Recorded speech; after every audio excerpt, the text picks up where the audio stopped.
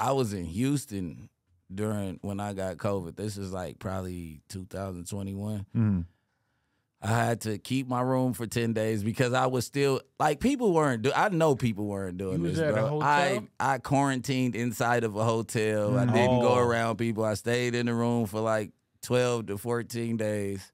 Like this is before they said, oh, five days, seven days. The fir- Remember, at first it was 14. Right. So my rental car ended up being 14 days. My room was 14 days. I tried to pull the the COVID thing. They told me to kiss ass and suck dick.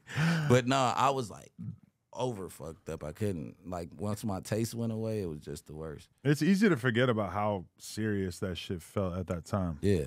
It's like can't roll out the bed, can't talk to nobody. Every time I sit up this way, I got a pounding headache. Right. But one thing that works, and I don't advise you guys to try it, but one thing that used to put me on my feet every day and have me running around the room. You're close. Percocets. How'd I know? they knock the fever out. They get you back. really? Yeah. So then you were like, I'm gonna just keep taking these every day. I ate, You're like, already I ate like 60 of them in fucking uh, two weeks. In the course of having COVID, Yeah. you up the dose. Yeah. Damn. I mean, you know, if you pop a couple and you're sitting in the room and you pop, pop, pop, you're the the uh, you start getting like used to that shit. Yeah. Well, that's Immune addiction. to it. I know. Yeah. we went through this already. Yeah, no, but when I got my hair transplant, they gave me a bunch of perks.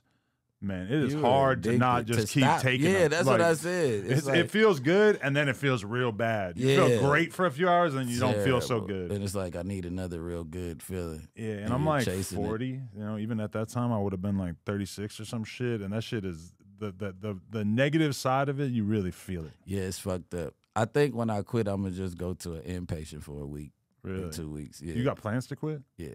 But we, we need to have a perk party before then, though. Oh yeah, no, no, no, no, no. It's probably like ten years from now. 10 years? What are you, 33? You trying to die? Huh? You trying to die? Do Nah. perks for 10 years? I mean, You ain't no, it's die. a medicine. People do perks. Them old people been doing perks. They- when you get prescribed that shit, it No- doesn't. Nobody is prescribed it for ten years. Yeah, they are. Why are you? You, you serious? Yeah.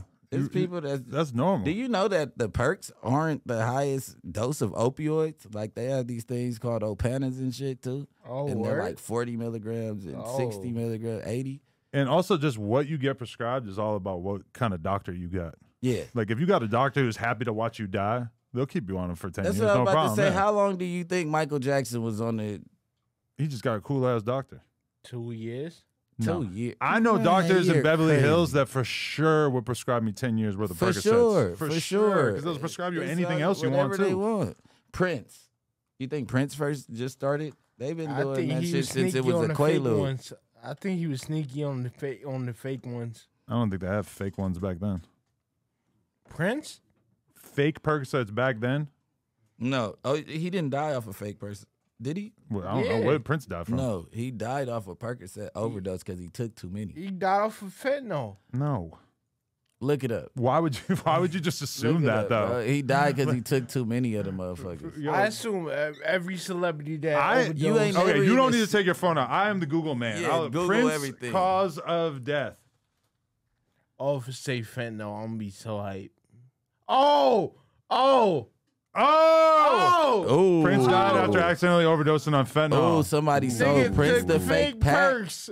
Fake perks. he knows because he was you a fake perk dealer. you that. You win. He's he's not. Oh, six oh. He's never seen fentanyl a day in his life though. That's uh, he always talks about fentanyl. You never seen a pack of fetty. You crazy?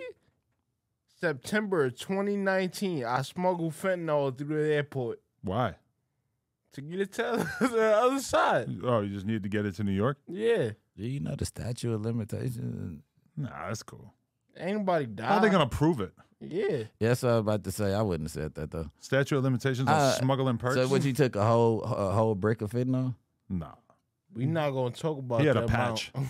That's what I was about to say. You you didn't you ain't seen no fentanyl. You probably seen a perky pill. You ain't Yeah, seen no let's go- fent- let's go yeah, with I was about that. To say you ain't seen no brick If of the, if the fentanyl. cops act, say I that. just know that you're not in the circle where they have bricks of fentanyl. not anymore.